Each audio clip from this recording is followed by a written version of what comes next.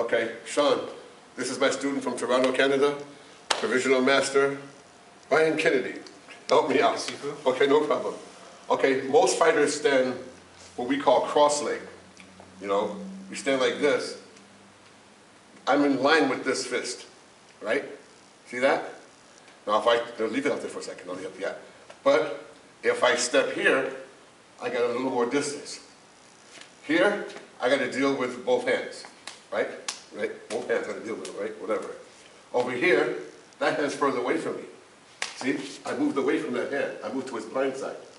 In order for him to, to uh, hit me, he's got to step towards me. And, and when he does that, he opens up his center.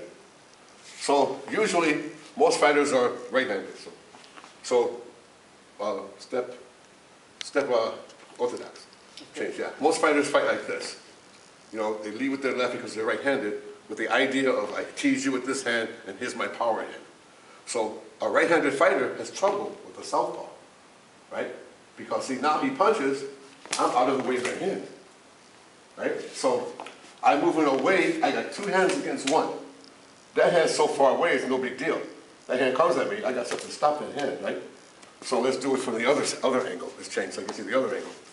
So if he's a right-handed fighter, I want to fight southpaw. See? I'm away from him. I'm away from his hand, right? Right? But um, if we right step, he steps in here with his rear hand, I'm right in line with it. So now I'm here.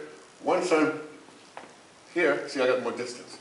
So if he's a left-handed fighter, then I fight orthodox. Same principle, right?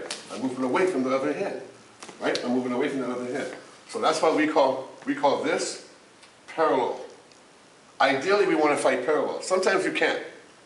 But uh, if he changes his stance, I change mine. So when you see our fighters uh, in the man-up stand-up, you'll notice that most of them will change their stance to fight on the blind side.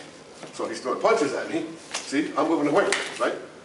I'm moving away from his hand, right? So that's what you can use.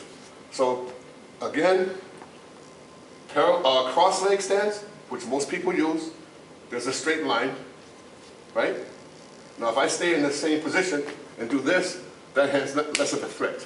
So that's why I want you to fight parallel, okay? Take care, thanks.